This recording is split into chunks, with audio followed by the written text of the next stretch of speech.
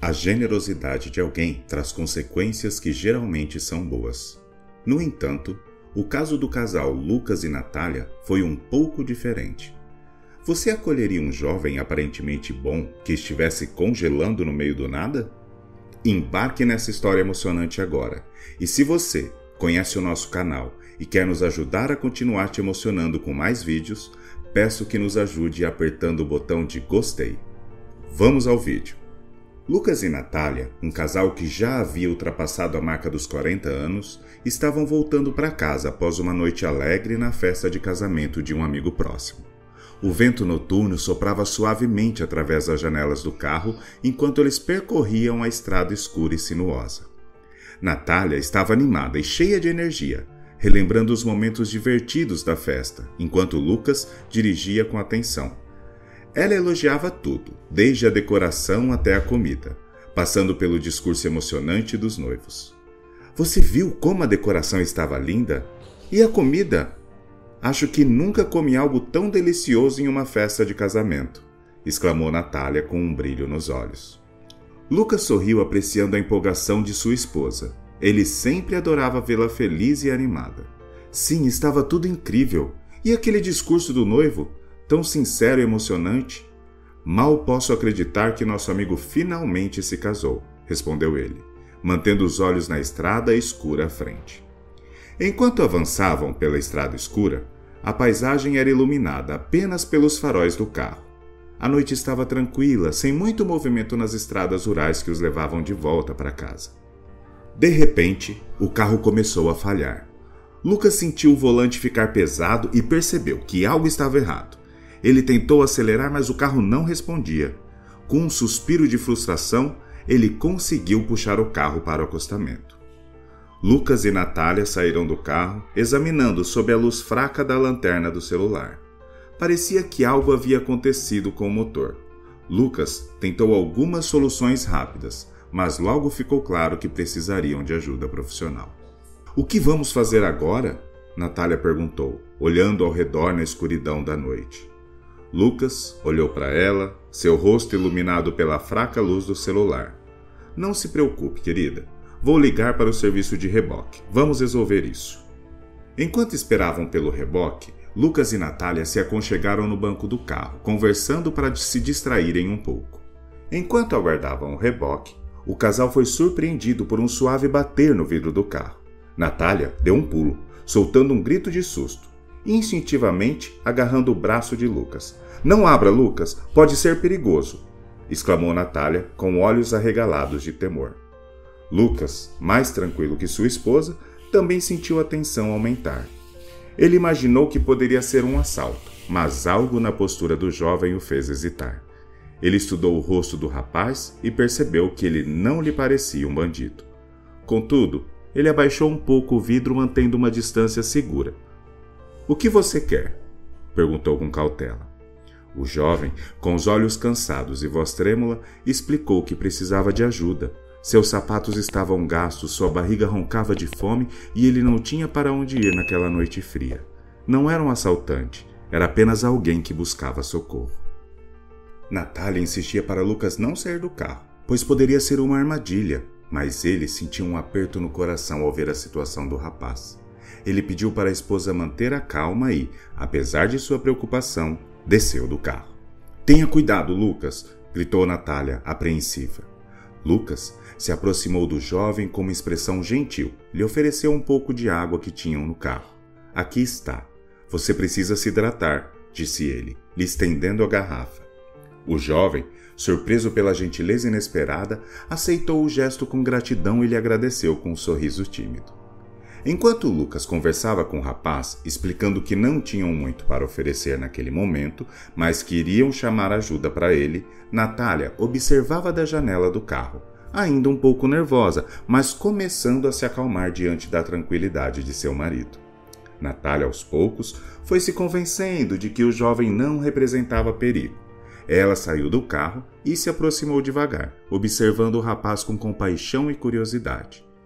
Ei, Desculpe por ter gritado, disse o jovem, seus olhos carregados de tristeza. Não era minha intenção assustá-la. Natália sorriu gentilmente, tentando transmitir conforto ao rapaz. Não se preocupe, estamos todos um pouco nervosos com a situação. Como você se chama, garoto? Meu nome é Elias, respondeu o jovem, sua voz ainda tremendo um pouco. Elias começou a desabafar, contando sua história com dor nos olhos. Ele compartilhou sobre a perda de sua mãe e a relação conturbada com seu pai, que ficava mais bêbado do que sóbrio. Como aos 15 anos, sentindo-se desamparado e desesperado, decidiu fugir de casa para escapar do abuso e da negligência.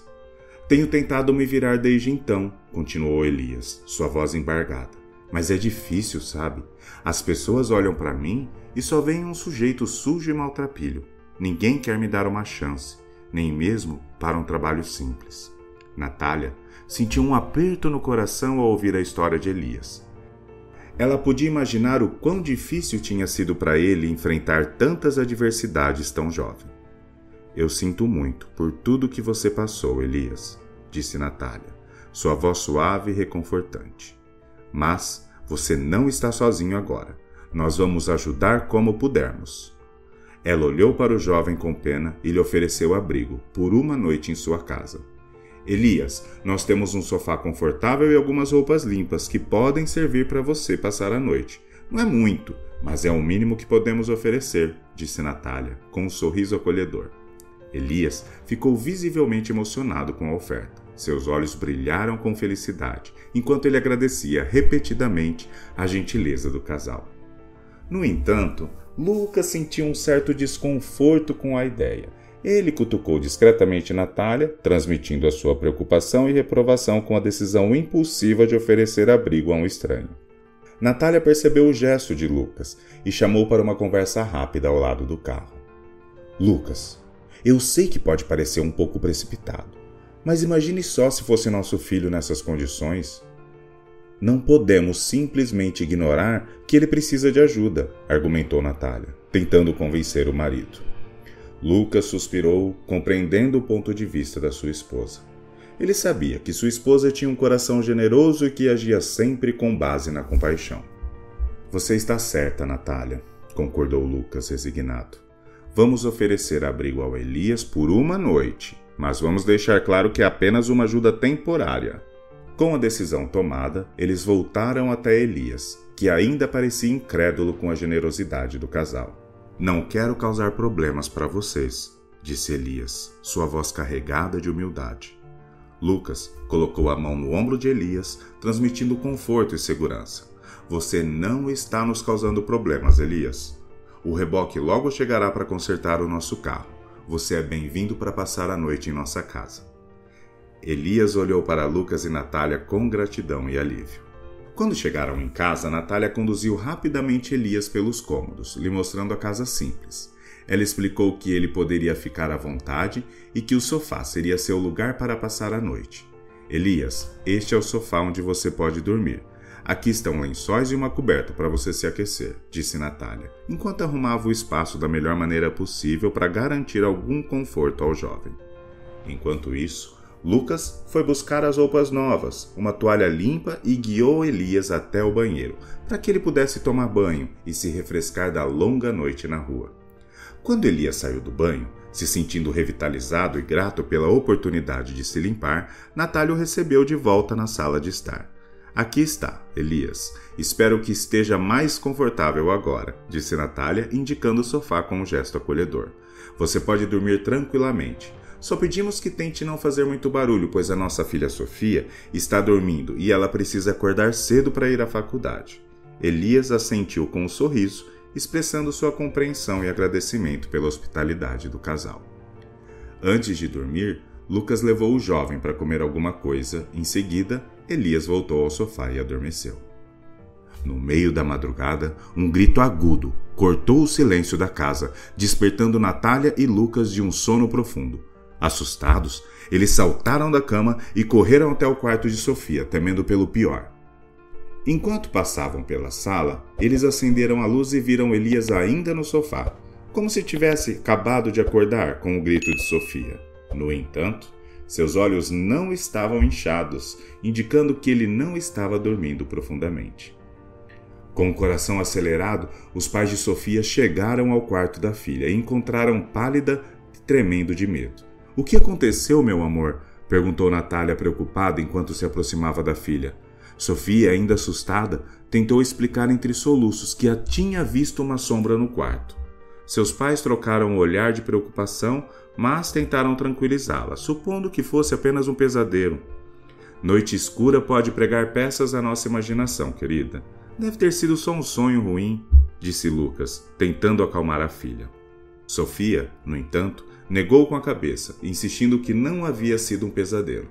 Natália permaneceu ao lado da filha até ela adormecer novamente, a acalmando com palavras reconfortantes e carinho. Depois que Sofia finalmente se tranquilizou e voltou a dormir, Natália também foi para o quarto, levando consigo uma sensação de inquietação e uma série de perguntas sem resposta sobre o que poderia ter assustado tão profundamente sua filha naquela noite. Ao amanhecer, Natália levantou-se com um suspiro, ainda pensando no susto que Sofia teve durante a noite.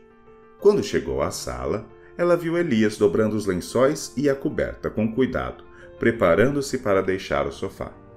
Você não precisava fazer isso, Elias. Muito obrigado por arrumar o sofá, disse Natália com um sorriso de gratidão. Elias sorriu timidamente em resposta ao elogio, agradecendo pela oportunidade de ter passado a noite naquela casa acolhedora. Então Natália o convidou para a cozinha enquanto ela começava a preparar o café da manhã.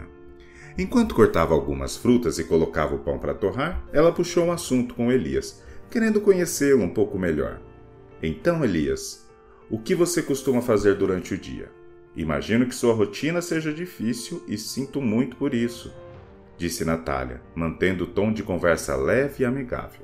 Elias contou um pouco sobre sua rotina diária nas ruas, explicando como costumava procurar por abrigos temporários ou buscar oportunidades de trabalho ocasional para sobreviver. Contou que geralmente coletava latinha nas ruas em troca de algum dinheiro ele expressou sua gratidão novamente pela generosidade de Natália e Lucas em lhe oferecer um lugar para pernoitar. Enquanto conversavam, o aroma do café fresco e das frutas recém-cortadas encheu a cozinha. Enquanto Natália e Elias conversavam na cozinha, o silêncio da casa foi quebrado pelo som dos passos sonolentos de Sofia. Ela entrou na cozinha com uma expressão sonolenta, resmungando alguma coisa incompreensível. No entanto, sua sonolência se dissipou instantaneamente quando seus olhos se fixaram em Elias. Ela ficou completamente paralisada, como se tivesse visto um fantasma. Natália percebeu imediatamente a inquietação da filha e decidiu intervir antes que a situação se tornasse ainda mais desconfortável. Sofia, querida, este é Elias. Ele precisava de um lugar para passar a noite, então oferecemos abrigo a ele, explicou Natália, tentando tranquilizar a filha. Elias sorriu gentilmente para Sofia e a cumprimentou com educação. Mas Sofia parecia ter sido atingida por um feitiço. Ela gaguejou estranhamente, seus olhos arregalados, mostrando claramente sua surpresa e desconforto. O clima tenso só se dissipou quando Lucas chegou à cozinha. Sua presença trouxe um alívio palpável e Sofia se sentou à mesa, embora ainda estivesse visivelmente nervosa. Natália, Preocupada com o estado de sua filha, perguntou com carinho se estava tudo bem. Sofia hesitou por um momento, mas finalmente assentiu, embora sua voz ainda soasse um pouco trêmula. Sofia terminou de comer rapidamente, sem esperar por mais nada. Se levantou apressadamente da mesa. Tenho que ir para a faculdade, disse ela rapidamente, já se encaminhando para a porta. Seus pais trocaram olhares de surpresa diante da rapidez com que ela estava agindo mas, antes que pudessem dizer alguma coisa, ela já estava praticamente fora da vista. No mesmo instante, Elias se levantou da mesa, expressando sua gratidão pela hospitalidade que recebeu durante a noite. Obrigado novamente por tudo. Vou embora agora, disse ele, preparando-se para partir. Porém, quando Sofia ouviu que Elias também estava prestes a sair, ela parou abruptamente em seu caminho, em direção à porta, disfarçando sua reação. Ah, eu acho que esqueci algo no quarto, vou lá pegar, disse ela rapidamente, tentando disfarçar a verdadeira intenção. Lucas e Natália acompanharam Elias até a porta. com ele lhes agradecendo mais uma vez por terem compartilhado sua casa com ele durante a noite. Eles asseguraram a ele que poderia voltar se precisasse de algo, deixando claro que era bem-vindo a qualquer momento. Enquanto Elias se afastava, Sofia aproveitou a oportunidade para se certificar de que ele realmente estava saindo. No entanto, ela disfarçou sua curiosidade. Depois de supostamente esquecer algo no quarto, Sofia se dirigiu ao banheiro, fechando a porta atrás de si. Dez minutos se passaram e ela ainda não tinha saído. Com seu pai já fora de casa, Natália começou a ficar preocupada com a demora de Sofia. Ela bateu na porta com suavidade. Sofia, você está bem aí? Você disse que precisava sair rápido para a faculdade. Sofia inventou uma desculpa apressada do outro lado da porta. Ah, sim, mãe, estou quase pronta. Só um minuto. Finalmente, após mais alguns instantes, Sofia saiu do banheiro. Ela deu um beijo rápido em sua mãe e, com um tchau apressado, saiu pela porta, finalmente indo em direção à faculdade. Natália observou a filha sair com preocupação, se perguntando sobre o que poderia ter causado tamanha pressa e nervosismo em uma manhã que deveria ser como qualquer outra. No entanto, ela decidiu deixar as perguntas para depois, confiando que Sofia eventualmente compartilharia o que estava acontecendo quando estivesse pronta. Sofia caminhava pelas ruas, ainda desertas devido ao horário matutino. O silêncio tranquilo foi abruptamente interrompido quando ela ouviu alguns passos ecoando atrás dela.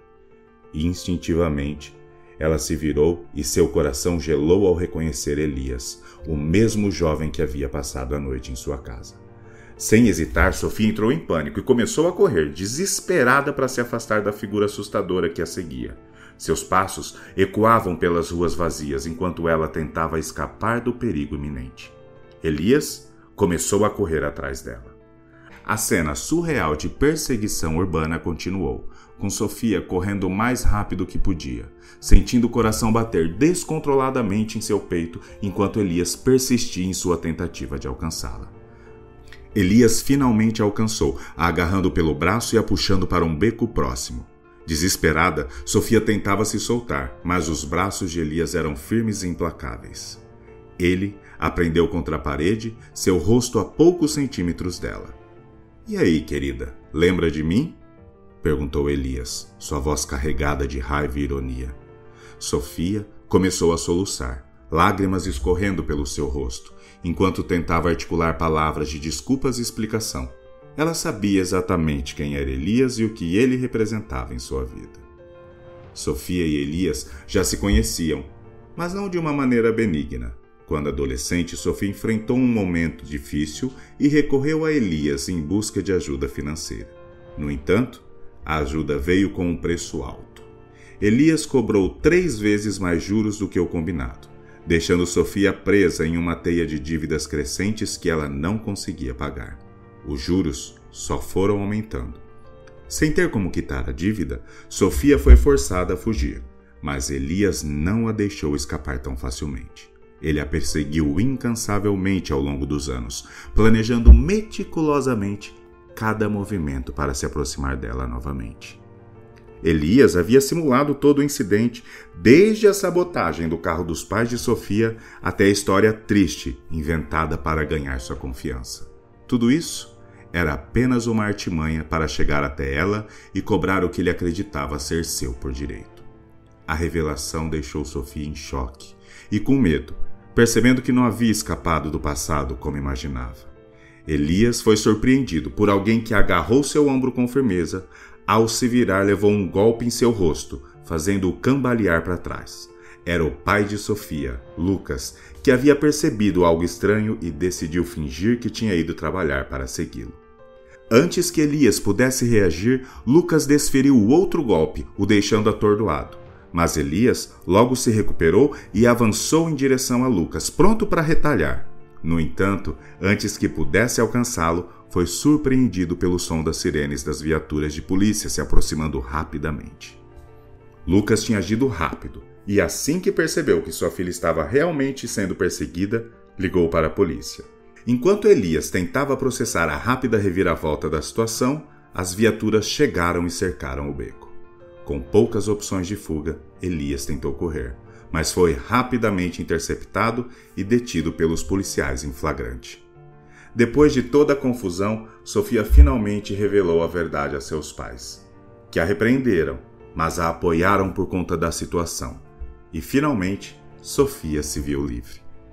Como você acha que esse tipo de atitude de Elias pode prejudicar outras pessoas realmente necessitadas? Diga nos comentários. Se você gostou dessa história emocionante, peço por favor que deixe um gostei neste vídeo e compartilhe com seus amigos. E este outro vídeo que está aparecendo em sua tela agora também é muito comovente e certamente também vai te emocionar. Se inscreva no canal para não perder nenhuma novidade. E Quer saber até onde o humano é capaz de chegar? E gosta de crimes e casos reais? Assista o vídeo fixado nos comentários sobre um passado sombrio que volta para assombrar a vida de duas pessoas. Visite o canal The Crime e até o próximo vídeo.